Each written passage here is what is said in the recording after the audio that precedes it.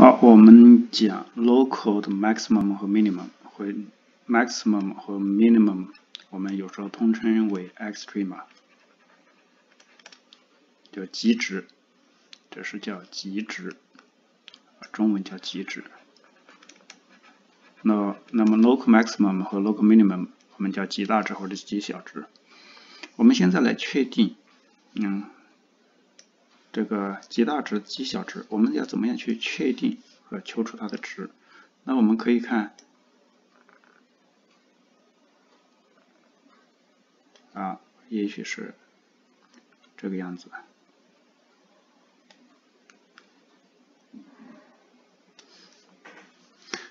那么什么是 local 的 maximum 和 minimum？那我们可以看这个点，在它的一个比较小的范围内。它的值是最大的，这个在一个小的范围内，它的值是最大的。那么这里也是一样，这里也是一样，那么这里也是一样。这当然这里还有一个，我们只是说在一个很小的范围内，它是最大的，或者是最小的。这个做这种就叫 local 的 maximum 和 minimum，或者叫。呃，extrema。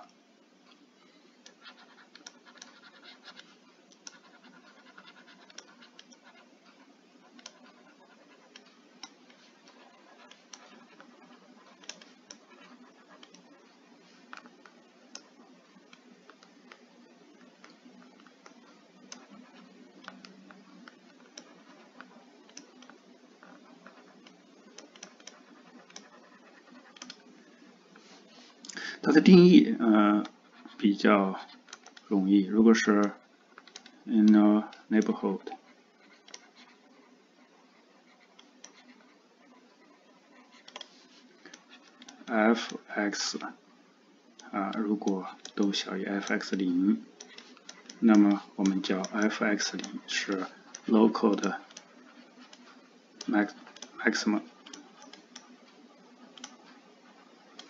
如果 f(x) 大于 f(x) 零，那我们叫 f(x) 零是 local minimum。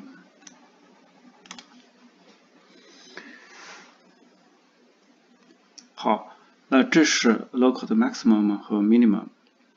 那么我们怎么样去去定义？我或者我们怎么样去求它的呃 local maximum 和 minimum？怎么样去确定它是一个 local 的 maximum 或者 minimum？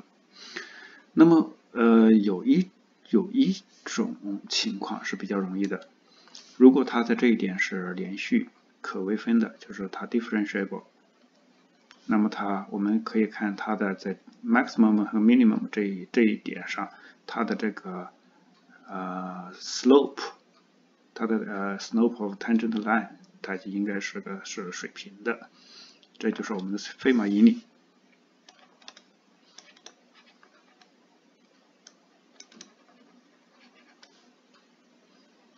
啊，有时候我们叫费马引理，有时候叫费马定理。如果 f(x) 呃是 differentiable。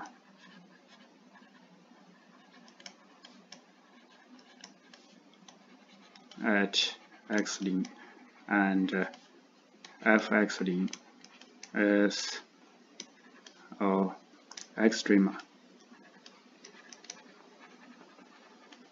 那么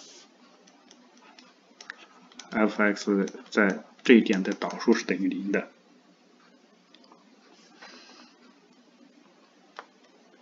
那这个根据我们以前的这个求呃，极大值呃求求这个 increasing decreasing，那我们嗯就知道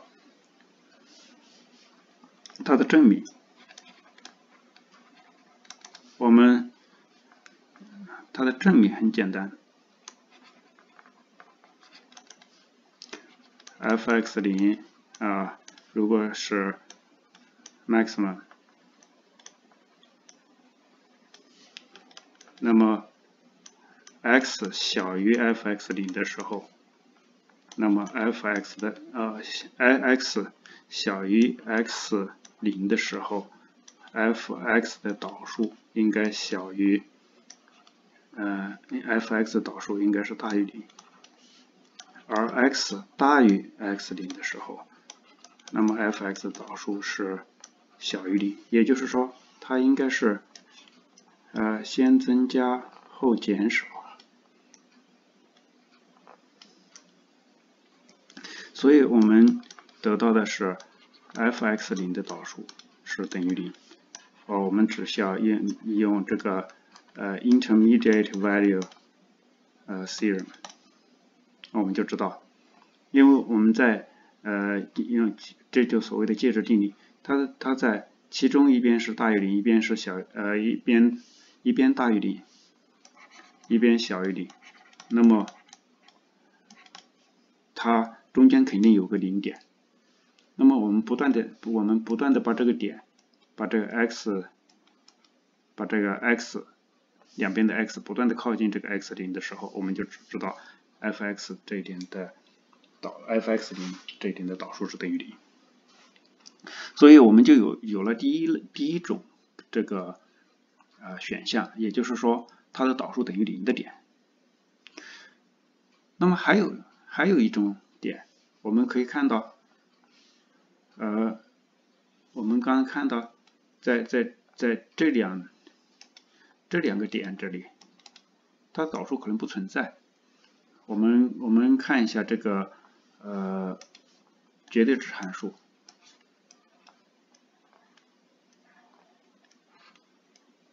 绝对值函数，那么它在它在这个点上。它是导数是导数是不存在的，但是在它在这一点是有极值，所以我们就有就有这样的两个选项，嗯，找极值我们就找我们叫做 critical points，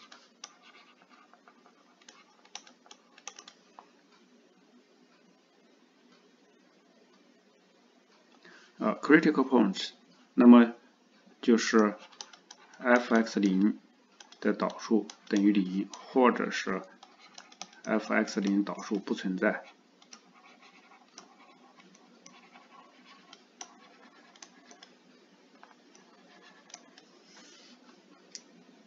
当然，我们的前提是 f(x 零它是呃 defined，或者说它是在这一点至少是。呃，我们要求它是在这一点，嗯，实际上是，呃，应该是连续。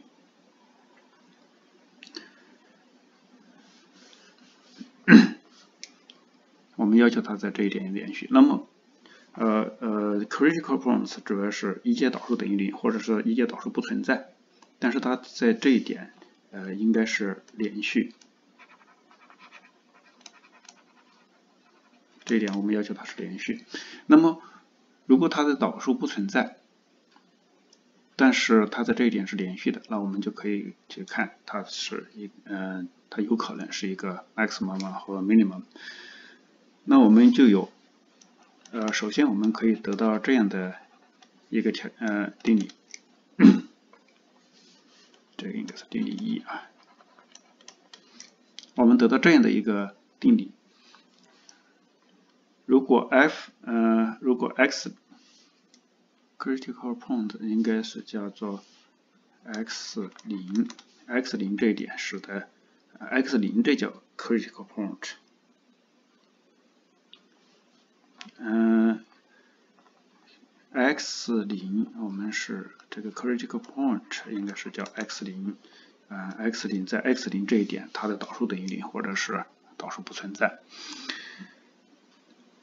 好，那我们嗯有这样的一个定理，我们假说，假如嗯 f 是 continuous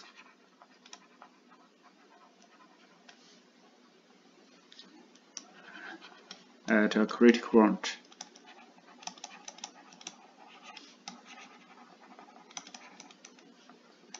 x 零，那我们是主要的就是在嗯考虑在 critical critical point 里面考虑。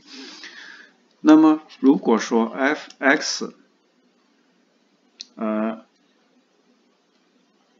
小于 x 零的时候，f(x) 的导数是大于零，而 x 大于 x 零的时候，f(x) 的导数小于零。for x close，我们说 close to，或者是 x in the neighborhood。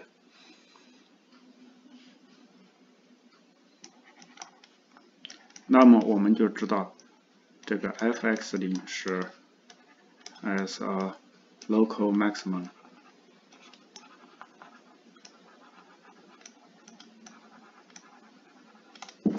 那这个根据我们前面讲 increasing decreasing 很容易就得到。那么呃在小于 x 零的时候它是增加，大于 x 零的时候它是减少。那么它自然就是一个最大值。如果 x 小于 x 零的时候 f(x) 的导数小于零，而 x 大于 x 零的时候 f(x) 的导数大于零，那么我们有这两个条件，我们就说，呃，f(x 零它是呃 local 的 minimum，这个比较根据我们眼前面 increasing decreasing 的定义，我们就知道，嗯，是先增加后减少，这那么这个就是 maximum。那么先减少后增加，那么这是 minimum。这根据我们的前面的函数的增减性，我们就是比较容易得到。啊，我们不管它是在这一点有没有导数，啊，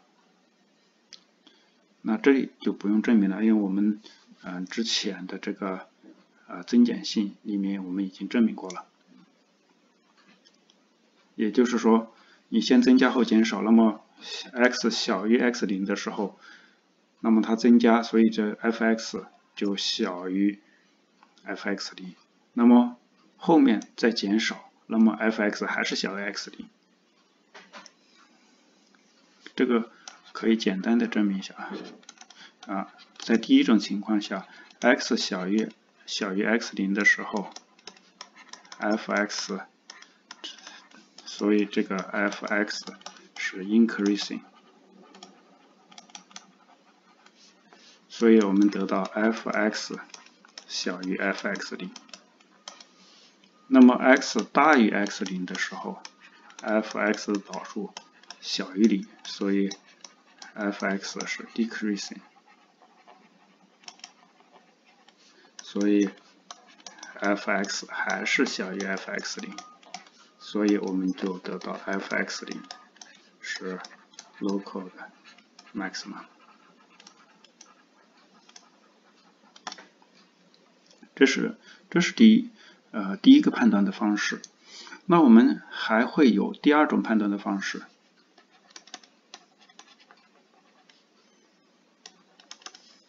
如果 f(x) is a second differentiable。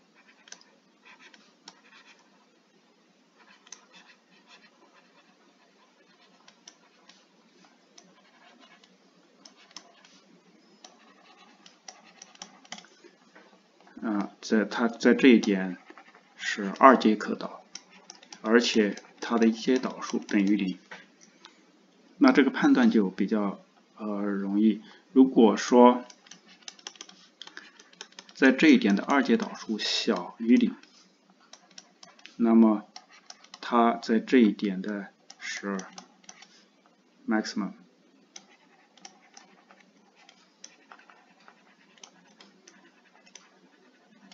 如果二阶导数大于零，那么 f(x0) 是 local 的 minimum。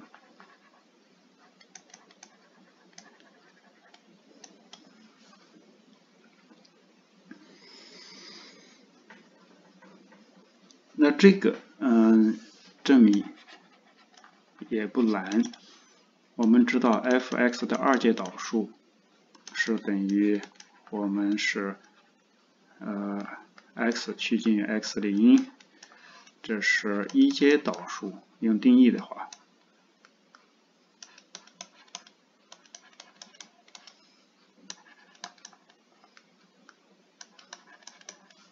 那我们知道一阶导数等于零，就会变成。这是 f(x) 的一阶导数，x 减 x 零。那我们看 x 小于 x，这个是这个如果是大于零，这个如果是大于零，那么当 x 小于 x 零的时候，我们我们就知道这个要大于零，x 减 x 零的时候，那么我们知道 x 减 x 零这个是小于零。那么，所以我们能得到出 f(x) 的导数也小于零。我看一下，啊，这是先是大于零的情况。如果 x 大于 x 零，那么我们得到 x 减 x 零也是大于零，从而我们得到 f(x) 的导数就是呃大于零。也就是说，先减少后增加，所以 f(x 零是。local 的 minimum。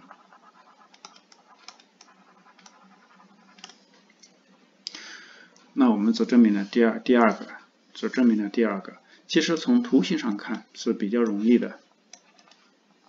你看，我们可以看二阶导数，二阶导数小于零是啊 concave down，它本身在这一点的导数。一阶导数等于零，而二阶导数，呃，二阶导数小于零的话，就是 concave down。concave down 又是这导数本身又是又是等于零，所以它只只能是 maximum。而二阶导数大于零，而它本身的一阶导数等于零，它是 concave up，所以它是极小值。好。那我们来看例题，嗯，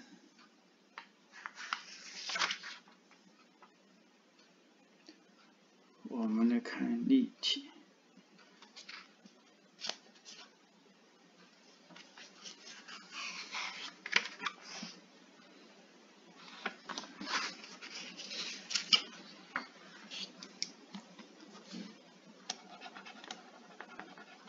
我们可以用，嗯。嗯，两种方法来，用两种方法来判断它是呃极大值还是极小值。我们看，find the local maximum and minimum of f(x)，那例如说等于一加上八 x 减去三 x 平方。有些时候我们用第二种方式比较方便，有些时候我们用第一种方法比较方便。那我们看一下 f(x) 的一阶导数，那是等于八减去六 x。那么它等于零的地方，我们得到 x 等于三分之四。那这是这是一个多项式，求二阶导数更快一点。它的二阶导数等于负六，它始终小于零，所以它只有一个 critical point，而且所有的二阶导数都是小于零，所以 f(x) 呃。当 x 等于三分之四的时候，呃，等于一加上八乘上三分之四减去三乘上九分之十六，呃，这个等于多少啊？嗯，三分之三十二，三分之十六，三分之十六，那么一，哦，三分之三十二。对，三分之十六，三分之十六一，那么三分之十九啊，它是 local 的 maximum，那么它没有 local 的 minimum。如果二阶导数比较好求，我们可以使用二阶导数的方法来求。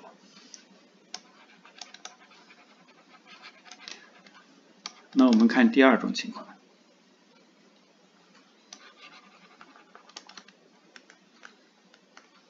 我们 find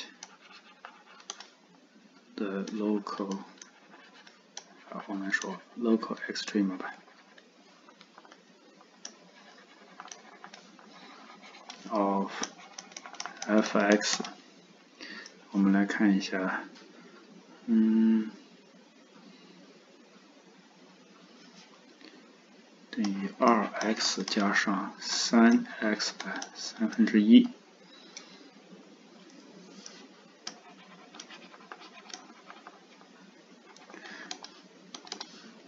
看一下，一阶导数是等于二。加上 x 的负三分之二，那么 f(x) 等于零，它没有呃，啊 f(x) 等于，我们看 f(x) 等于零，那实际上是二加上 x 的负三分之二等于零，嗯，就是。x 的负三分之二，我们可以写成这是 x 平方，这是三次方分之一，这是等于负二。嗯，负二，嗯，这个不可能，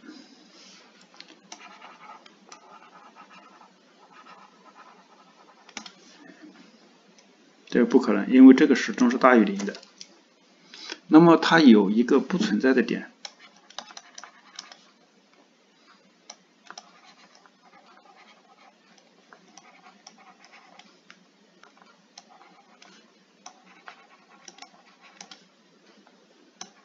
在 x 等于零的时候它是不存在，因为它是在分母，在这一点不存在，那么我们就没办法求二阶导数，但是我们可以画个图看看。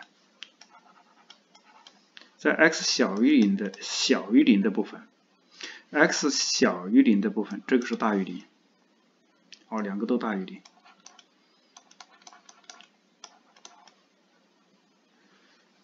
x 大于零，这个也是大于零，所以所以没有，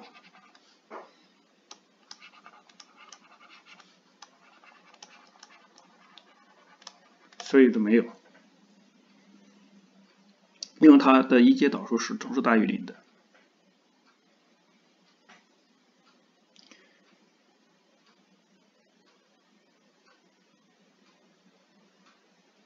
嗯，我们可以给它稍微改一改啊。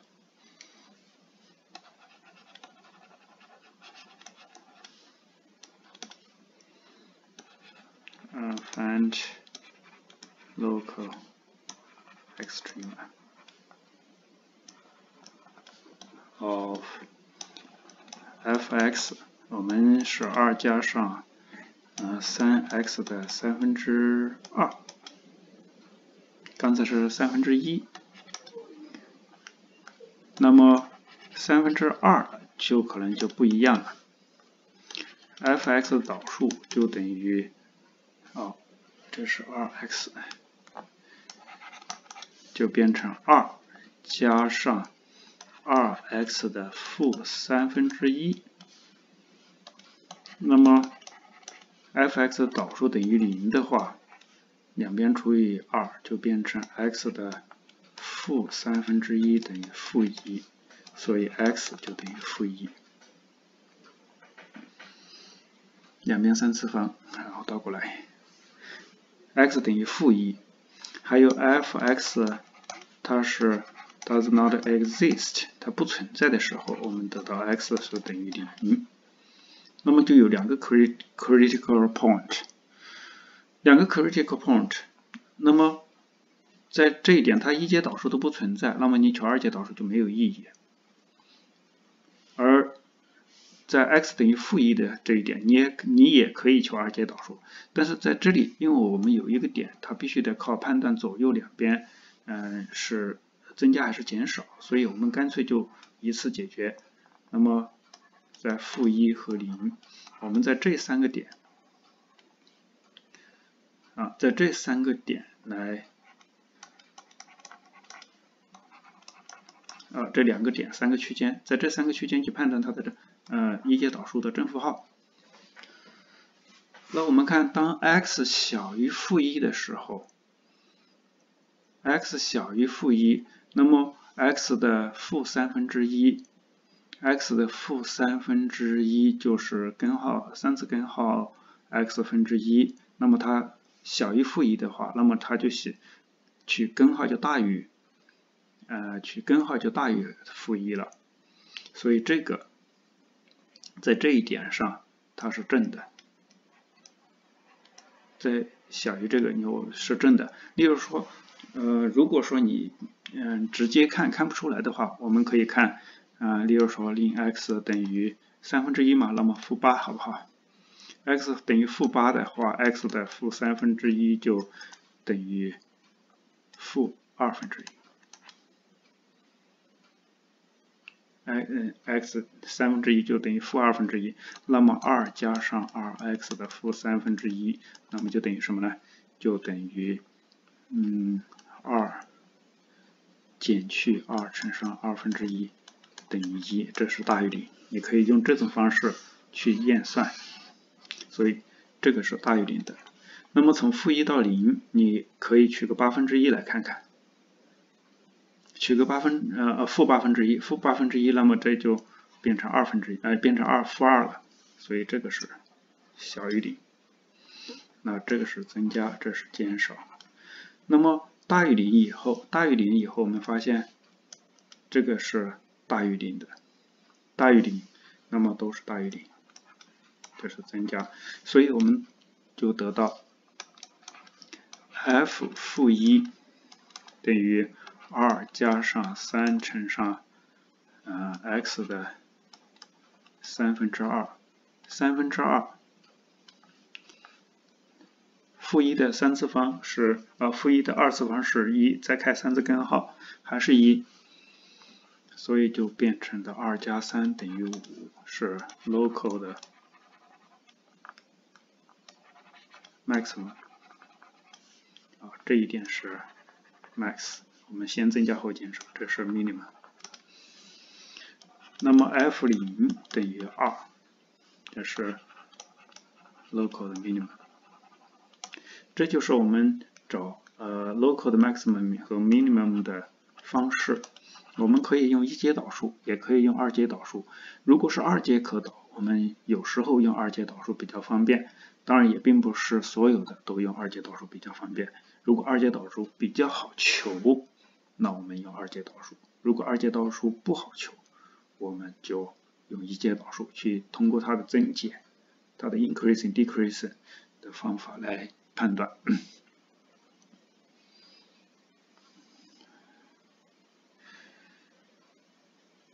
好了，这是我们求 local 的 maximum 和 minimum 的嗯基本的方法，呃两种方法我们都可以用。